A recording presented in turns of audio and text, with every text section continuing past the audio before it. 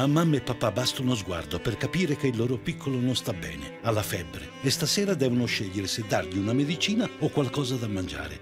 Per chi è povero, anche la salute è un lusso.